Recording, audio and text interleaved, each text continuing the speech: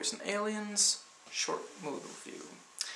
When Daniel Craig wakes up in the middle of the desert, he has no recollection of even who he is.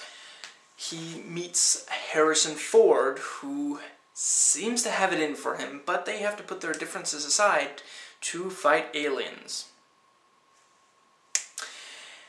That is the basic setup, and it's a surprisingly good film, actually. It's really well cast, much of the dialogue is very clever, and it really has the feel of a western, a classic western.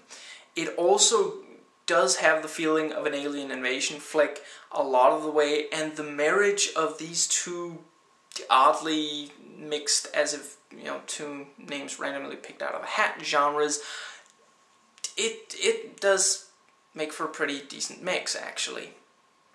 It does, however, take itself a bit too seriously and not have as much fun as it could and should have with this kind of concept.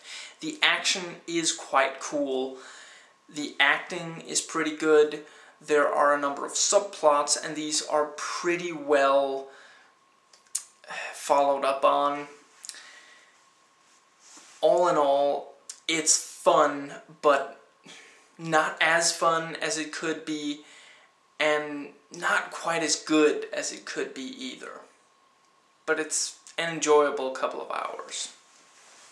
If you like this review and want a more detailed one, check below, it's there as a video response. If not, it'll be in the description box. Please rate and comment, and hey, if you like this video, that subscribe button's just waiting for you to click it.